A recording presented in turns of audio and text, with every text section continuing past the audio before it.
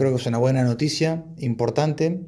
Eh, Matías Álvarez, que operó con el narcotráfico, con la violencia, con las balaceras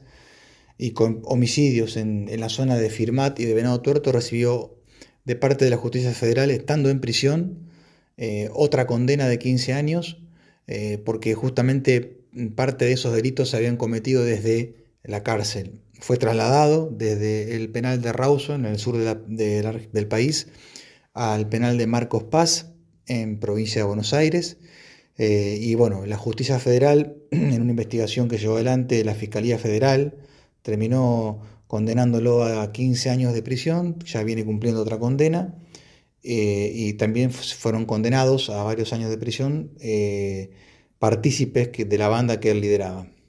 Sin embargo, se siguen investigando otras causas de Matías Álvarez. Exactamente, porque eh, Matías Álvarez también está siendo investigado por el, homicidio, como ser el autor intelectual, haber ordenado el homicidio de Erika en, Firmat. Eh, eso fue el 28 de diciembre pasado, una amenaza, después finalmente terminó siendo eh, por un par de sicarios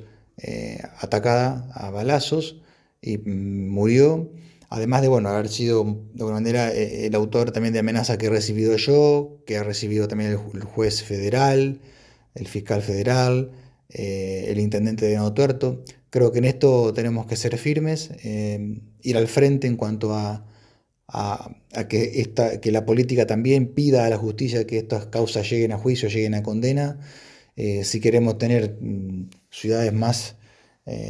con más, tranquilidad, es, que tienen que estar presos y bueno, justamente mientras estén presos tienen que tener todas las eh, medidas de seguridad correspondientes en cuanto al uso de celulares, en cuanto al, acceso de tecnología,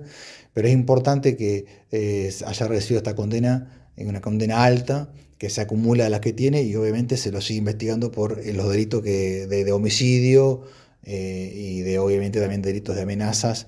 así que es una buena noticia para la región. Mientras tanto, continuarán con este perfil de trabajo de seguir adelante contra la lucha de venta de drogas en el sur de Santa Fe, ustedes. Fundamental, yo creo que en esto tanto el intendente de la ciudad de Nuevo Tuerto como, todos los que de alguna manera padecemos eh, eh, lo que las ciudades este, vienen sufriendo en cuanto a las balaceras, en cuanto a la violencia, en cuanto a, las mafias del narcotráfico, eh, pedir que la justicia actúe, que, la justicia sea eh, firme y que haya condenas ejemplares y que estén donde deben estar presos en prisión y sin el acceso a celulares o a tecnología que les permita poder seguir delinquiendo.